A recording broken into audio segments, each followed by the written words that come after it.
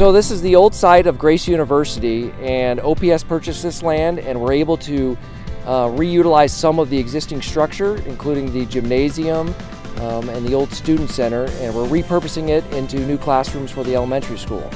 And we also have an addition uh, going on the east side of the building that's going to add uh, additional classrooms uh, and so we're excited to be out here. Since we're built on a hill, we actually have three entrances into the building all on different levels. So at the far west end, you can enter at the lower level.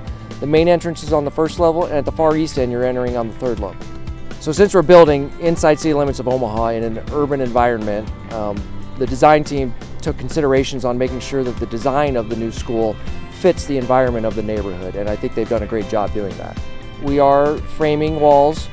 Uh, for the addition, we are completing foundation walls. Uh, we currently have a pour scheduled for this week, and steel is going to be arriving in a couple weeks. We're excited to complete this project on time and under budget and have an opening for uh, these kids in 2022.